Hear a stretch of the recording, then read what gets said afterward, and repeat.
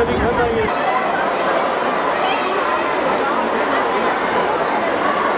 Babaannemin kız kardeşleri röportaj kitabı 8 ayrı röportajdan oluşuyor.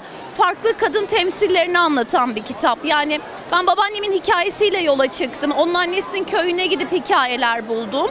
Ama sonra o hikayeler beni buldu diyebilirim.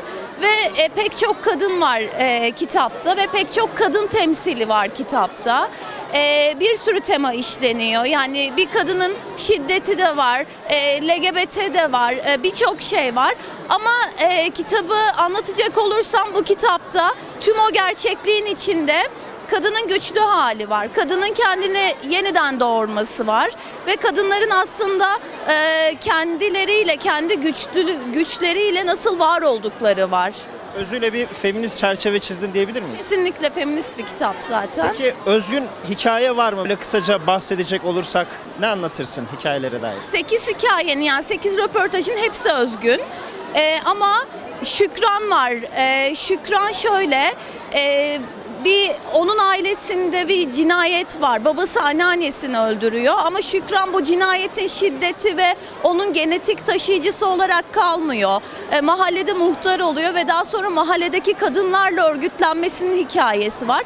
Esasında babaannemin kız kardeşlerindeki 8 hikayede genetik bağların, şiddetin ya da acının bir sonraki kuşağa nasıl aktarıldığı ve yeni- yeniden e, üretildiği mi yoksa o kadınların o onlara dayatılan e, normları nasıl aşabildiklerini anlatıyor. Kadınlar bu kitabı neden okumalı? Kadınlar ve erkekler bu kitabı e, özellikle haber başlıklarında kadın haberleri verilirken ya da kadın teması işlenirken sürekli bir pornografik ya da şiddetin altı çiziliyor. Ama babaannemin kız kardeşlerinde kadınlar ve erkekler bu e, şiddetin ya da bu kadın temsilinin antisini görecekler. Yani antitez olarak yazdım ben bu kitabı.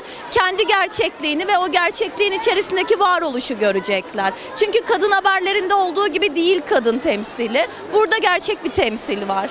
Biraz da çalışma sürecinden e, nasıl bir emek harcadığın konusunu konuşmak isterim. E, gazetecisin aynı zamanda. Röportaja dayalı bir kitap. Biraz o yönüyle bahsedebilir misin kitaptan? E, bu kitap aslında 6 yıllık bir kitap. Yani 6 yıllık bir çalışmanın ürünü. Ben babaannemi Kasım 2012'de kaybettikten sonra yola düşüp bu çalışmayı yapmaya başladım.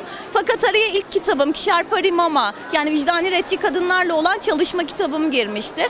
Daha sonra bu kitap o çalışma sürecimi anlatacak olursam benimle birlikte dönüşen bir kitap oldu. Ben o dönem muhabirliğe başladım ve kadın haberleri yaptım ve kadın haberciliğinde öğrendiğim ve dönüştüğüm pek çok şeyin ürünü oldu bu kitap diyebilirim.